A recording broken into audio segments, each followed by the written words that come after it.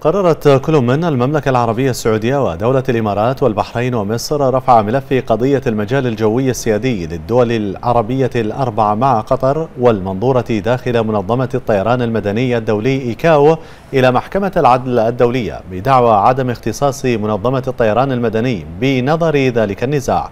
وقال البيان الصادر عن الرباعي العربي إن مجلس منظمة الطيران المدني الدولي إيكاو كان قد نظر أثناء أعمال دورته الاعتيادية رقم 214 في طلبين. قدمتهما دولة قطر بشأن إغلاق المجال الجوي السيادي للدول الأربع أمام الطائرات المسجلة في دولة قطر.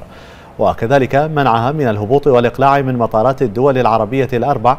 وأوضح البيان أن هذه الإجراءات من هذه الدول الأربع برفع ملف هذه القضية إلى محكمة العدل الدولية جاء نظرا لصدور قرار مجلس منظمة إيكاو بمنح قطر الفرصة للاستماع لمطالبها والذي لم يتضمن تأييد تلك المطالب أو المطالبة للدول الأربع بأية إجراءات مؤكدة أن قبول مجلس المنظمة بدراسة المطالب القطرية غير قانوني لإخروجه عن اختصاص المنظمة الفني. وسيكون اعتراض الدول الأربع على قرار إيكاو من خلال الاستئناف أمام محكمة العدل الدولية الذي يحقق التظلم أمامها.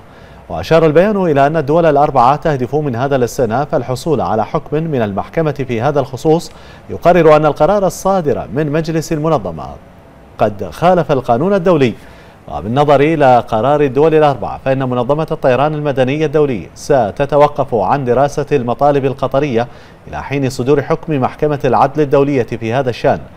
ويتزامن مع ذلك استمرار الدول الأربع في تعنتمها بل تمتعها بممارسة حقها السيادي في إغلاق الأجواء أمام الطائرات القطرية بموجب القانون الدولي.